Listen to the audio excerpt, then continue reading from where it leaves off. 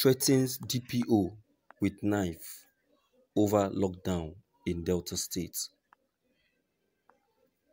Muslims in Ekakpeme community, Ughelli South Local Government Area of Delta State, on Friday defied the state government stay-at-home order to worship freely in their hundreds. Daily Independent gathered from reliable sources that when the information got to the DPO of Otu-Jeremi Division Police, headquarters of the Muslims worship, he hurriedly mobilized his men to the mosque at Ekakpeme, where he met Muslims in their hundreds worshipping.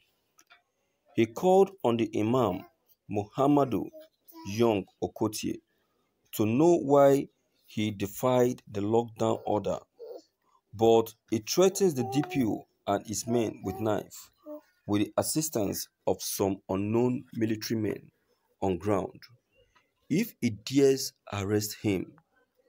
To avoid possible crisis with the military men, the DPO left with his men while the worship continued. In a telephone chat with the Imam of the Ekakpeme Mosque, Imam Muhammadu Young Okotie, he confirmed defiling the order, saying he did it to pass a message of marginalization of Muslims in Ughelli South local government area to the world. He, however, denied allegations of threatening the Otu-Jeremi DPO with a knife and military men. Those saying I threatened the DPO with a knife are haters of Islam, he said. According to him, when the government asked anybody to stay at home for 14 days, we obeyed, but at the end, when palliatives were sent to the local government area by the state government, Muslims in the local government area didn't benefit because it was only Christian clergies that were appointed to share the items. So I deliberately opened the mosque for members to worship today, Friday 24th April 2020, to draw the attentions of the world that we are hungry. And since they refuse to give us food stores sent by the state government, we have no option than to cry to our God for help through the Friday worship. We are all members of the local government area, so we have rights to benefit equally. But when you constitute a committee with our only Christian clergies as heads, they will only represent the interests of their religion. I, as an imam in the council area, supposed to be part of the committee to represent interests of Muslims. If it is to make peace during Fulani herdsmen attack and elections, I will be called upon by those in authority. So today, I have been able to draw the attention of the world through this worship. When contacted at the time of filling this report, the PPRO Delta State Police Command Onome Onovwakpoyeya said she has not been briefed of the incident but promised to get back to our correspondents. Thank you for listening to this news. It is only in Nigeria people will act stupidly and hide under religion. You can imagine. See, Nigeria as a country has really forced people to the wall and has really made people to be acting so ignorantly. Well, of the truth, the the uh, imam acts stupidly, but as it as, as at the same time, he acted wisely because it it's it's, it's becoming too much of the Nigerian government. It's becoming too much of them.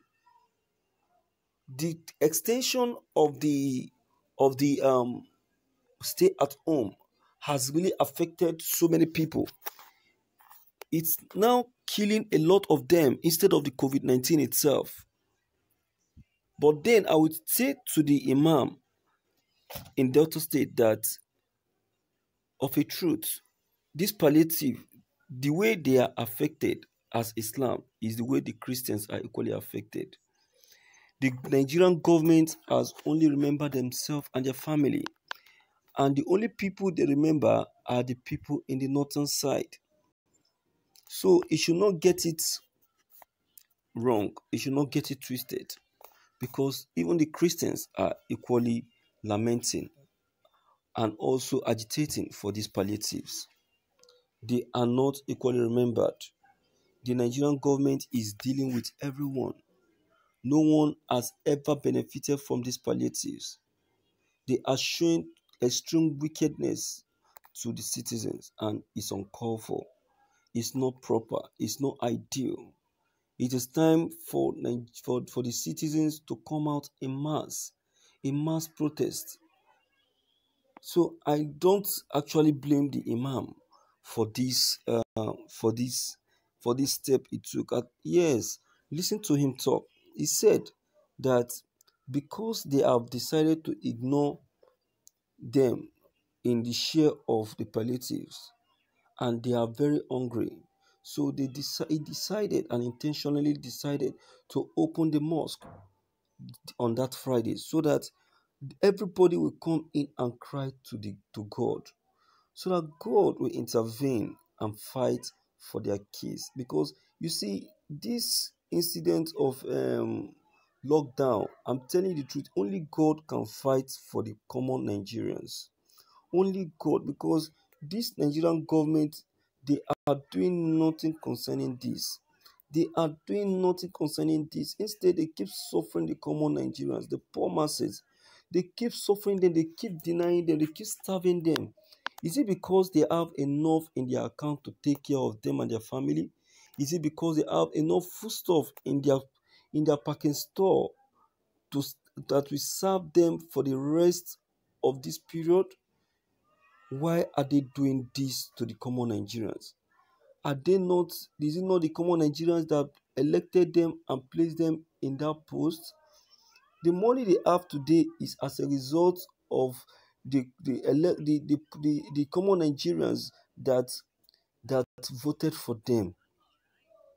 Why are they choosing to be suffering the, the poor masses with this? Okay, the donation given by other people to to release to the poor to the common Nigerians, they seized it and kept it to themselves. They that supposed to even release palliatives to the to the common Nigerians as leaders of of of local government areas, they couldn't do that. The ones given to them to share to them, they kept it to themselves. This is shared wickedness. This is apparent wickedness. Enough is enough.